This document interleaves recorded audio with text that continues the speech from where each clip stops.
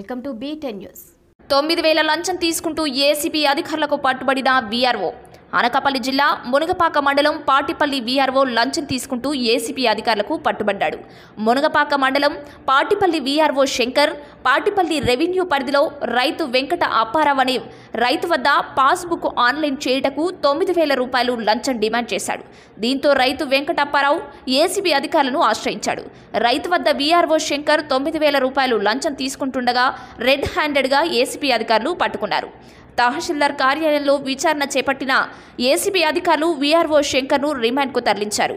ఈ రైడింగ్లో ACB DSP సిబ్బంది పాల్గొన్నారు.